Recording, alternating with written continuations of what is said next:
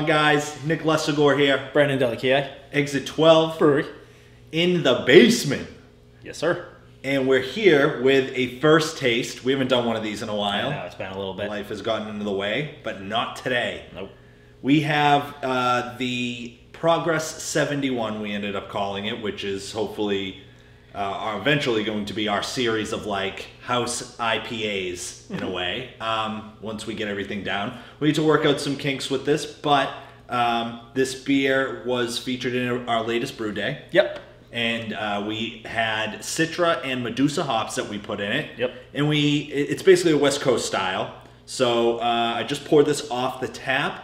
Brandon uh, has a little bit better of a head than me, but Yeah. take a little peek. It is a little more cloudy than we wanted. Uh, yeah, we thought it might be see. chill haze, but it's not looking like chill haze. The Maybe- bubbles rising up quickly, which is nice. Uh, it probably, yeah, I was thinking it was the chill haze. It's probably not. This is just, uh, you know, Ha- pretty haze is in our blood. We just end up making hazy beers, even if we don't really want to. We did. Uh, we did um, kettle fined this with I think two two teaspoons of uh, with Irish moss. I think we went a little heavy on it. Uh, we didn't use any gelatin. We thought that was gonna be good enough. We did dry hop this beer, so you know maybe next time we do a gelatin or or even a Whirlfloc, you know, and uh, Irish moss. We were thinking, yeah, Yeah, and uh, we cold crashed it for about two or three days. yep. Um, so let's, as you can see, uh, it is. It does have those nice caramel hues to it. Uh, I think at first glance, if you're looking at it from here and us not walking up to the camera, it may look oxidized. It's not. Uh, we also close transferred this utilizing the Ss Brewtech in a video that, if it's not out already, will be shortly. Yeah. And uh, so it's not oxidized. It's got a really nice, almost a little bit uh, darker cranberry to it. Uh, if you Yeah. hold it up to the light, it actually uh, kind of looks. It's slightly darker than our Friendsgiving Cranberry Pale Ale that we did, the second version.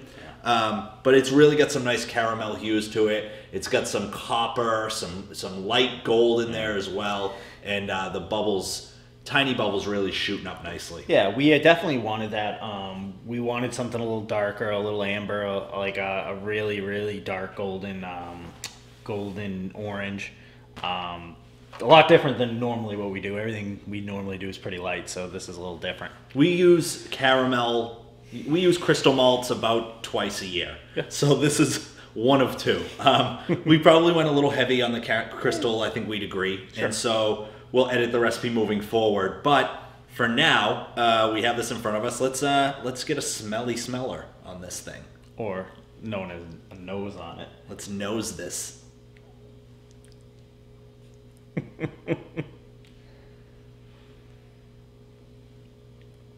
So off the bat, I'm definitely getting that that malt backbone, a little caramel. Um, See, I get some really nice peach. Some Okay. really, really ripe, been sitting in the sun, like kissed with the sun type type peach, like that really nice warm peach uh, aspect to it. I also get like a very slight hint of grapefruit. Yes, on the back end. grapefruit. Yeah, grapefruit. Um, maybe a little lemon. I'm definitely getting a also a clean uh, yeast character, like a um, you know, like um, I don't want to say a little bready or doughy, but it's definitely like a little bit of that yeast character is coming uh, coming Farmhousey almost. A little bit, a little bit. We did use the Kveik, uh, the Kveik strain, the Opshaug strain of uh, the Kveik Yep. blend of yeast, which is uh, we got from a small batch company called um, Man- maniacal, Maniacal yeast. Yep, maniacal yeast. Um, which was different for us. It wasn't in the BeerSmith software or anything, so we had to kind of use something to substitute. It was our first time using a yeast that was is fairly unknown, and it sold out very quick online. So Yeah. Brandon snagged it up. Yeah, and um, I think it's the first time we've used uh, dry, dry fake. Um, I think everything else we've had is a slurry, if I'm not mistaken, and uh, it, it was pretty good. We we did about half half the half the pouch. It was like one. It was 0.9 grams. 0.9 grams, which some people might be like, "Oh, that's even too much," and I and that probably wouldn't surprise us either. Um, but you know, it was But it the, right. the rest, sorry, the packet said to use all, use it all. Yeah, it was said it was a five gallon um, thing, but everybody says under pitch, so we, we we split the difference there.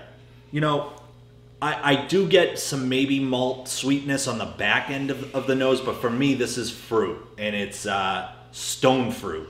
I, I don't get a whole lot of tropical. I get I get some really nice stone fruit flavors on it, like the peach, possibly the like a plum almost as well, like Yeah. a like a really nice uh, danker kind of sweetness, and then on the back end you get that really nice malt character, that really nice like uh, almost like a and I say this quite often, but like a stone fruit dipped in liquid malt. You know, it's as if uh, you took a, a peach, you didn't even cut it, you just dipped it in liquid malt and took a bite out of it, almost like a candy apple.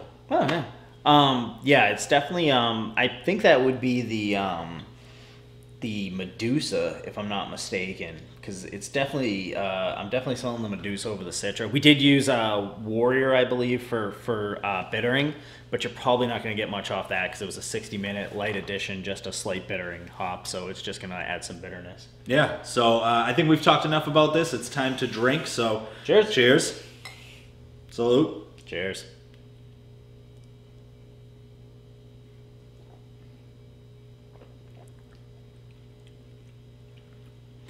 Yeah, so it's definitely got that that nice bitterness. Um, it's pretty clean. I think that it- we probably would even want it a little crisper and drier next time. So that's something we could probably research. Um, I think it's tough to do that. I do agree. I think it could be crisper, it could be drier. The cleanliness that you mentioned, I didn't really get until you just mentioned it. I've, I've been sipping on this for a few days, so this isn't my first my first beer, but this is his first beer, and I think that's a great point. I, I didn't really realize it is cleaner than what we normally would brew. Yeah. So for the style, I think we na- nailed the, the clean aspect Sure. of it. It gets well brewed. Yeah, I think so. Um, it's definitely got that bitterness charge at the front end, um, and it and it rounds off nicely with some hop flavors. Um, yeah, I'm, I'm really liking the hop flavors. I'm not getting as much of the Citra as probably the Medusa. I think we even, if I'm not mistaken, I think it was pretty much 50-50. It was three ounces and three ounces. Three ounces and three ounces. So that might be something we play with, you know, if we want more of those tropical notes. But but I mean, for this style, uh, a little bit more earthy and a little bit more uh, bitterness plays. So so it's not something that is I'm overly concerned about with this style. And it also is very cold. We did. I, I literally poured my glass and then his glass, and I pressed record. I mean, so Yeah. it's a little tough to pull flavors out of it right now. But what I do get is a lot of grapefruit pith. Like Yeah. I get, I get that really, and I think the grapefruit aspect of of the the hops kind of plays really well with the with the sweetness and the bitterness, specifically the bitterness, because I think when you think grapefruit pith, you think like overly bitter. Yeah. And so I think it plays really well with that aspect. I also get like very light hints of strawberry, um, Sure. which I think is interesting. Yeah, and I and I'm still, you know, it is a little green. Um, I feel like we did a good job of dropping a lot of the particulates out, which can uh, help with that. So uh, I think that it is still pretty green. So maybe we're getting some of those, those hot polyphenols right now that might drop out. Um, but yeah, it's definitely got that, um, like you said, that stone fruit, that uh, you know, um, a little bit of the grapefruit as well. Yeah, and I think I when I first had this, I told him that I felt like, and this is why I don't like telling him about beers.